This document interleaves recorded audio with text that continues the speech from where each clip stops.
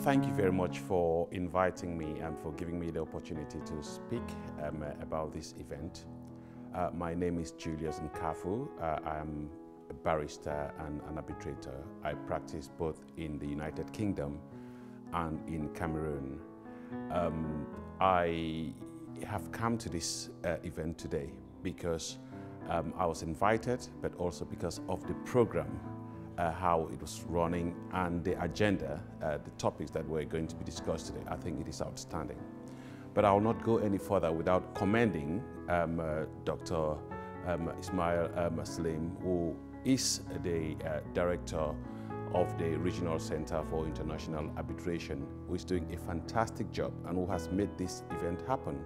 And I think it's one of the greatest events I have ever attended, arbitration event I've ever um, attended. And I cannot wait for the next one to come back here uh, in a very, very uh, beautiful city.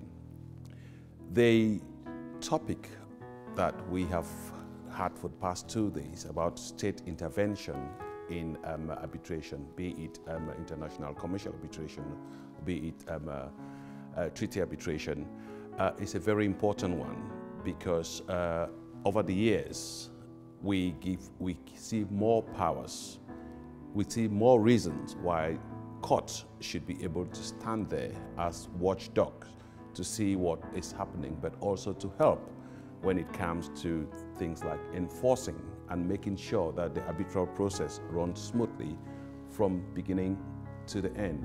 And I think that there's need for every year we have to refresh our minds what exactly the court should be doing and how they should be doing this and how we can all work together in the arbitral world to make things uh, happen.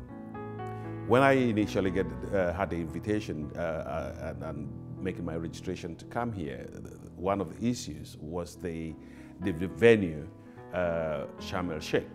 And when you call that uh, venue, people say, oh, be careful, be careful. But I'm just using this opportunity to tell people that there's nothing to be careful about.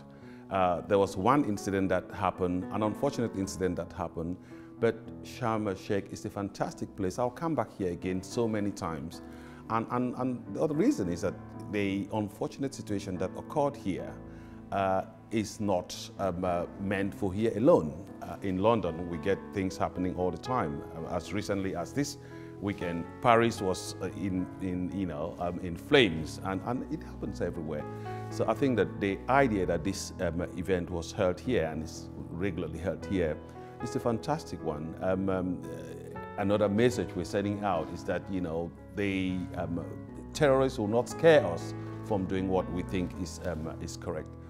So I'm excited uh, to be here. I've been around, I've you know, I've visited a, few places and met extremely nice people. So uh, I, am grateful to, to the organizers because I think that it was, it's been perfectly organized. And uh, I thank you all for contributing towards the success of this um, event.